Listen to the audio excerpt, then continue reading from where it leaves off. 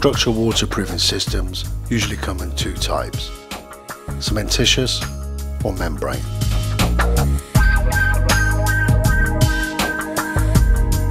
We prefer to use the cavity drain membrane system as this incorporates water management control.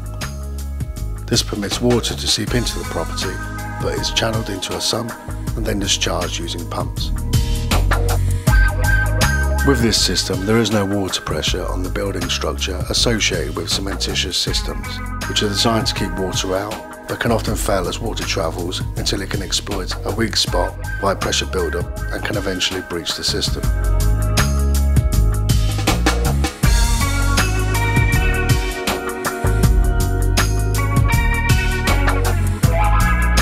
Cavity drain membranes are expertly installed with specialised waterproofing tapes and brick plugs with special seals that are designed to achieve a solid fixing, with the added provision for stud work walls to be constructed around the perimeter of the waterproofed area.